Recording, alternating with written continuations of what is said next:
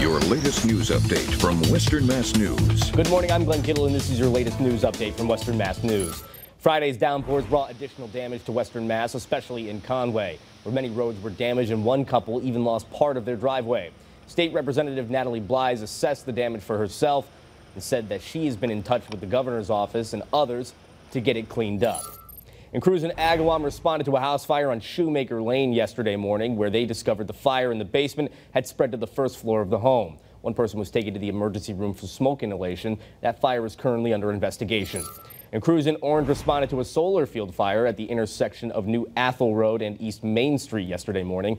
Crews say there was a small fire at one of the solar panels, but the fire was quickly knocked out and the scene was cleared.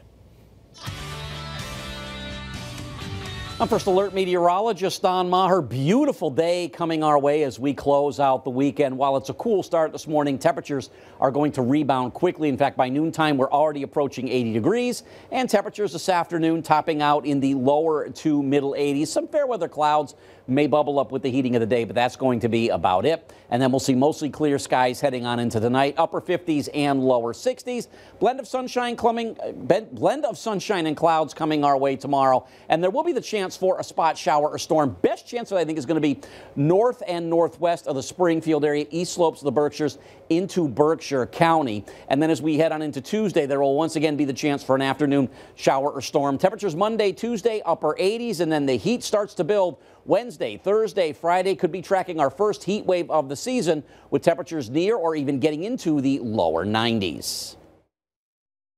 With Western Mass News on air, online, and on our app throughout the day for breaking news, weather, and exclusive content.